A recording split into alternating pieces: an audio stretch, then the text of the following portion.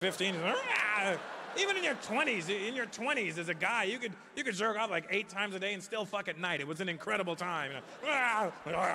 I mean, you don't really do it properly, but you can.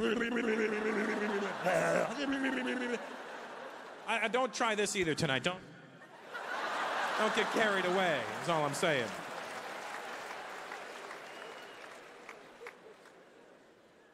It never ends for a man, Shahan. You will always, as long as you have arms. For the rest of Al, 62.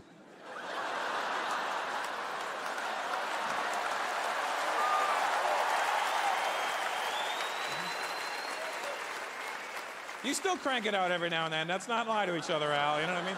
It's not as frequent as it once was. I mean, you know, maybe maybe once a month even. But whatever, you got to empty the pipes. You know what I'm saying? You know when it slows down, Uncle? You're only 34. You don't know this yet, but after 40 is when it slows down. That's when you uh, you got to make decisions in life. You know,